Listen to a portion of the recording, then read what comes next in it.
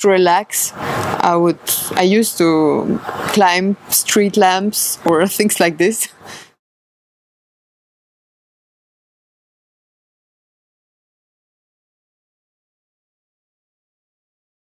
I find this quite unusual, but actually it is Elvis Presley. Uh, I was crazy in love with him when I was three years old, and I was the whole time dancing on his music. Uh, actually, everyone in the family thought I'm going to be a dancer, not a musician. well, to be honest, my first choice was the piano, but um, my mom is a pianist, and my parents were actually not quite excited about me becoming a musician. So I had to learn in secret some instruments, and my uncle helped me to teach me to play the violin because he's a, a violinist himself, and he had a small violin. So we did a couple of lessons in secret and then I showed uh, the little song that I prepared to my parents and finally that's how how it how it worked. The Nielsen has a extremely unique harmony. It's something that uh, if you don't know Nielsen, you will find it completely new. And it was actually new to me because I never played anything uh, that he wrote, so I was not very close to his music. The, the harmony I found uh, it was a new world, you know. Then I have to say also the structure of the piece, it's very uncommon. It's uh, not at all like the usual classical concerto uh, structure that we know. Another thing is it is very demanding technically. Definitely, you need to to work a lot on it before the first time you can perform it.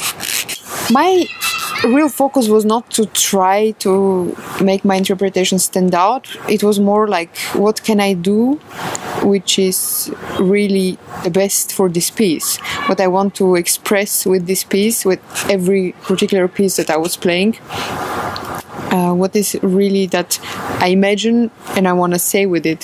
So I was actually more focusing on that than um, being uh, in some way standing out or being better than someone else. You know, I had a lot of luck with my teachers until now and still have. Uh, they're all great, so I'm actually quite satisfied. I would also be very happy to could play for Kremer once in my life.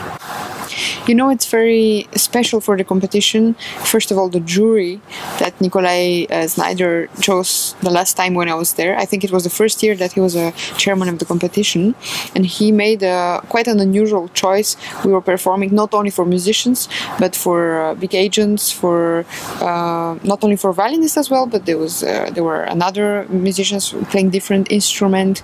Uh, there were. Um, chefs of big labels. So it is very for me very important to think on that when you make your choice like for who is going to be judging you when you make your choice to go to a certain competition the other thing that i find great is that mm, the jury cannot have their own students playing in the competition uh, which is uh, not always the case so i find it honesty and fairness is very important there for this competition Carl Nielsen. the prize i was very happy to do the CD recording with the Odense Symphony, Symphony Orchestra. I think this is a very great opportunity because it's rare. And nowadays, uh, to, to record with an orchestra, it's first of all very expensive and uh, it's not often to have this chance. So I think this is for me one of the greatest, uh, one of the greatest part of this prize. My friends often say that I can get quite crazy sometimes. You know, to relax, I would. I used to climb street lamps or things like this, but. Um, I would say unusual thing is that often I sing when I'm walking on the street. A nice dinner with a good glass of wine and good friends.